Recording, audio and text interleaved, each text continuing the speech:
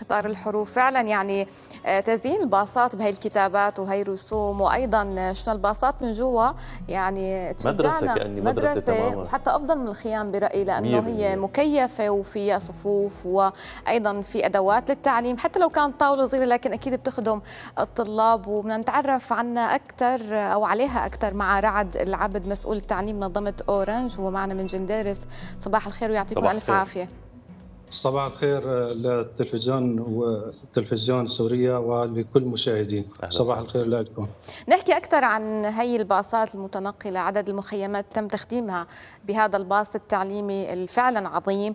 وأيضا هل لديك أرقام عن الأطفال اللي تم إلحاقهم بهي الباصات؟ حقيقة هذا المشروع كان استجابة لظروف صعبة مر فيها قطاع التعليم بسبب الزلزال مثل ما بنعرف.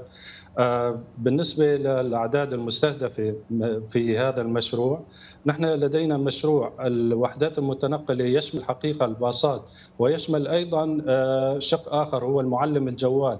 في في في الباصات والمعلم الجوال نستهدف عدد من الطلاب يصل إلى أكثر من 3100 طالب.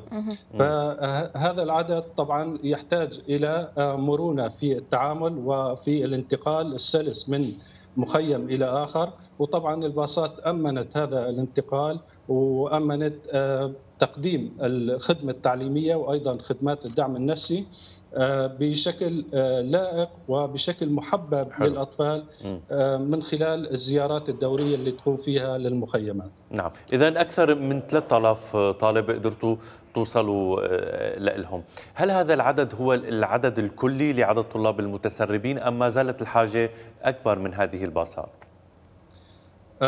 بالحقيقة نحن بذلنا الجهد للوصول إلى أكبر قطاع ممكن من الطلاب ولكن للأسف الحاجة كبيرة جدا. والأعداد التي تحتاج إلى خدمات تعليمية هي أعداد أكبر بكثير صحيح. نأمل طيب. أنه يكون بتضافر الجهود الوصول إلى جميع أكيد. هؤلاء الأطفال أكيد أكيد لازم فعلا تتضافر الجهود من كل الجمعيات لأنه هذا قطاع كثير مهم خاصة في ظل الظروف اللي عم يمروا فيها الطلاب كيف تم تجهيز الباصات لتصبح أشبه بصفوف تعليمية فعلا كده عم بحكي أنا ونور أنه من خلال الرسومات السبورة المقاعد الصغيرة كله مؤمن. نعم صحيح. طبعا أستاذي مثل ما بتعرف يعني نحن بالبداية حابين خد نقدم خدمة تعليمية. ولكن في ظروف الزلزال وكذا في صدمة ما بعد الزلزال يجب تكون هي الخدمة تقدم بطريقة تجعل الطالب يحب الوصول إلى إلى هذه المركز التعليمي. فطبعا الطلاب يعني كان عندهم تجربة بالمدارس ربما صعبة بعد الزلزال يعني المدارس تضررت كذا. فصار الطالب ممكن يكون عنده في عائق للذهاب إلى المدرسة بسبب الخوف من الزلزال كذا. فنحن حبينا يكون هذا الباص بيأمن له نوع من نقول بيئة آمنة ومحببة لحتى تستطيع جذبه إلى التعليم. طيب ذكرت من شوي إنه الباصات عم تجي على هي المخيمات بشكل دوري. هل تقصد إنه في أيام محددة بتجي عليها ولا هي بشكل يومي مثل باقي المدارس ويعاملون معاملة الطالب؟ يعني بالعطلة في عطلة وبشكل يومي وساعة محددة. نعم. طبعا نحن كان مهم جدا الوصول إلى ما يسمى بالروتين اليومي للطلاب. الحفاظ على الروتين اليومي يأمن لهم نوع من الاستقرار النفسي.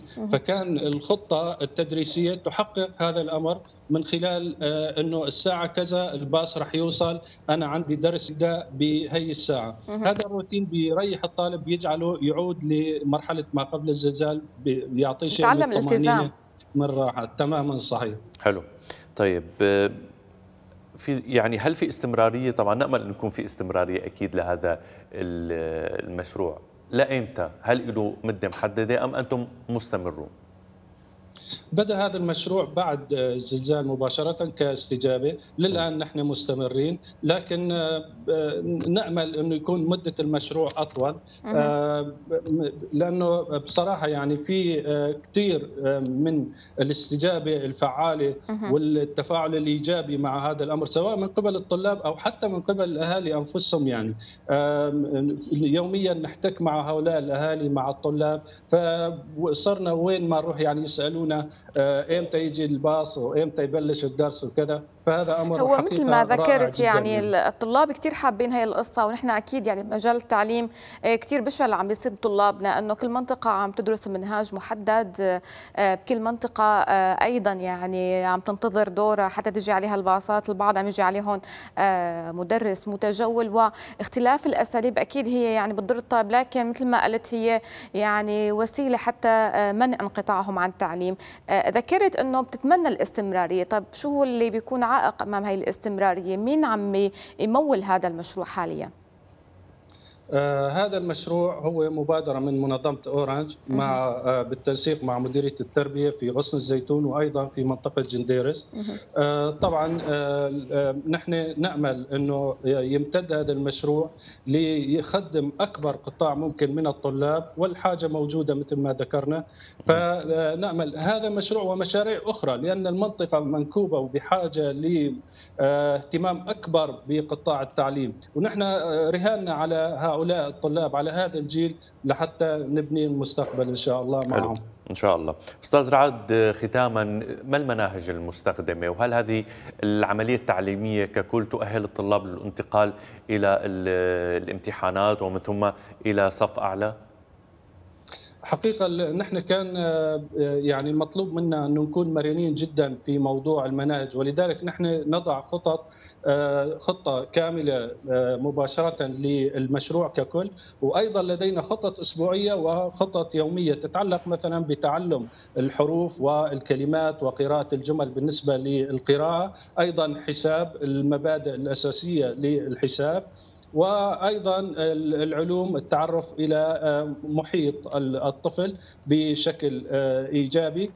وطبعا هي الأمور هي موجودة ضمن المناهج ولكن اخترنا انه يكون في مرونة بهذا الأمر اللي هي المعلومات الأساسية في القراءة والحساب أكيد هذا الشيء جميل لكن نتمنى نعم. فعلا نعم. يكون في منهاج استمرارية. موحد واستمرارية وفعلا هذا المنهاج يكون آه، موجود بكل نعم. المحافظات السورية ويخول الطالب في حال نجح للصف الثالث الرابع أنه يقدم بعد التاسع بعد البكالوريا حتى ما تروح آه، سنينه على الفاضي ولكن أكيد جهودكم جميلة أنه مشان ما ينقطعوا الطلاب عن المعرفة والتعليم حتى لو كانت بأساليب بسيطة وبأساليب مرنة. رعد العبد مسؤول التعليم منظمة أورانج. كنت معنا من جنديرس بدي أتشكرك كثير نهارك سعيد.